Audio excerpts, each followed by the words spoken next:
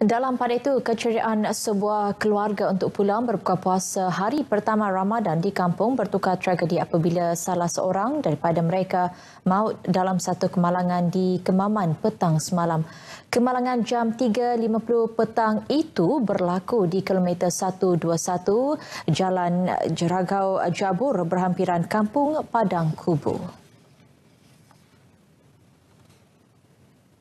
Dalam kejadian itu, mangsa Umi Baizura Rahmat, 21 tahun, seorang pegawai keselamatan maut di lokasi kejadian akibat kecederaan parah di bahagian kepala.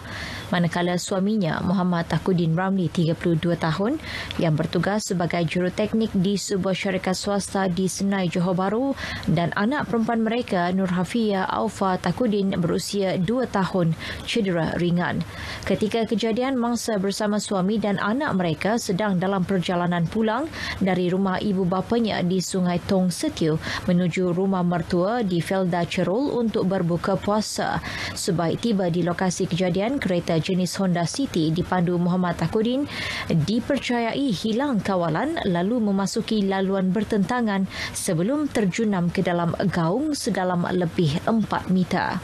Mangsa yang duduk di bahagian belakang penumpang disahkan meninggal dunia oleh sepasukan anggota perubatan dari Klinik Kesihatan Bandar Sri Bandi akibat kecederaan parah dialaminya.